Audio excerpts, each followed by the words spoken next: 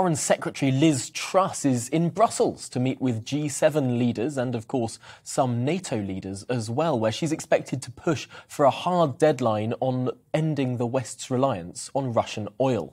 It comes as the US and the UK agreed to send more weapons and humanitarian aid to Ukraine, with UK military chiefs saying that the next three weeks will be crucial.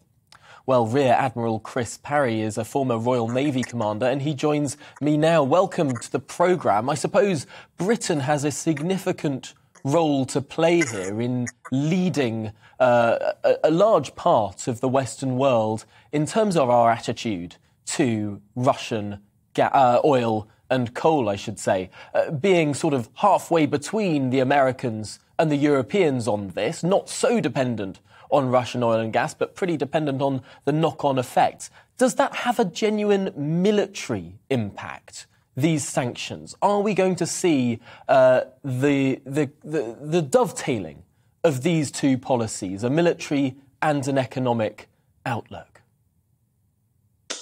Well, if we're going to adopt a strategic approach to Russia, then it has to be a comprehensive approach. Uh, and every aspect of every contact uh, of engagement with Russia and its people has to be taken into account. You can't just do military or economic, it has to be cultural, uh, economic, um, ideological, if you like, uh, social, and military. Uh, we uh, essentially have a very contested relationship with Russia now, and every Russian citizen has to be uh, made aware of what is being done in their name. It's extraordinary seeing what has gone on within Ukraine in the last two weeks. Uh, a really quite heroic effort from the Ukrainian armed forces, something that not many Western commentators expected uh, two months ago or just under when this all began. Um, I suppose the worry, though, is that with the redeployment of Russian troops from outside Kiev towards the east of the country, things could get a lot worse in terms of the Russian assault on Ukrainian cities? Well, I think we've got to be clear that there's been a switch in uh, Russian uh, policy and strategy. I think they've given up trying to uh, decapitate the uh, Ukrainian regime. And what they're settling for, I believe, is, is an annexation of territory from the Donbass region uh, through to Crimea. So they've got a land bridge, if you like, uh, that links the Donbass with the Crimea.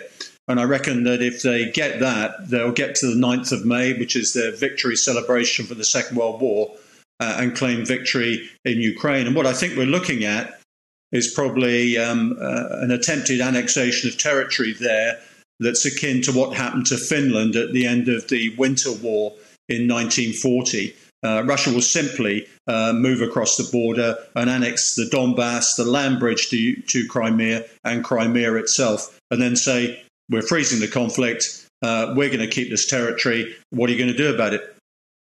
And that is an incredibly concerning prospect because, of course, it's it's easy to envision that happening. And at that point, if the if the violence stops, if the shelling stops, if the frankly uh, almost genocidal murder stops, it's a very tricky situation to negotiate from that point. If we get to the 9th of May, and that happens, what does the West do? Well, the West uh, continues uh, to bear on Russia. Russia is not going to go away as a strategic opponent. Uh, it's occupying Ukrainian land. Uh, it's up to the Ukrainians whether they accept that sort of thing or not. Uh, but Russia also has a debt to pay. It's got to pay for the rebuilding of all the damage it's done. Uh, um, its commanders and politicians have got to pay the debt to the international community for the horrific crimes against humanity that have taken place. Uh, and let's face it, uh, Russia is a rogue regime in the world, and uh, they're going to have to accept a totally different relationship with the international rules based system. Well, it will certainly be a very, very interesting situation. I hadn't quite clocked the 9th of May date being quite so important in the Russian psyche. Everything building up to there potentially well. For now, Rear Admiral Chris Parry, thank you for talking.